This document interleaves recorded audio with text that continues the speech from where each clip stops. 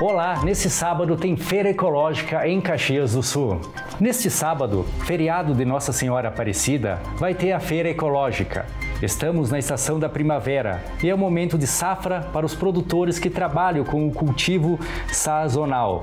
Algumas espécies típicas da estação já estão sendo comercializadas, com preços especiais como repolho, couve-flor, rabanete, nabo, alface, ervilha, cenoura, beterraba, além das hortaliças. Então fiquem ligados no horário de atendimento, que é das 6h30 às 11h30 da manhã, na Praça das Feiras, entre a Avenida Rio Branco e a Feijó Júnior Júnior, no bairro São Pelegrino.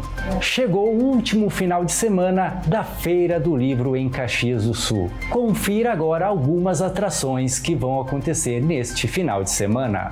Neste sábado tem contação de histórias, com destaque para o Sótão da Flor, no ônibus das artes da Fundação Marco Polo, na Praça Dante Alighieri, às 10 horas da manhã. Palestra sobre a obra Vivendo São Peregrino, com sessão de autógrafos da escritora Susana Postali Fantinel, a partir das duas horas. Já às seis, tem música na feira com a orquestra de brinquedos no palco principal. No domingo, marca o encerramento da Feira do Livro com diversas atividades. Esse foi o direto da redação desta sexta-feira. Um bom final de semana para vocês.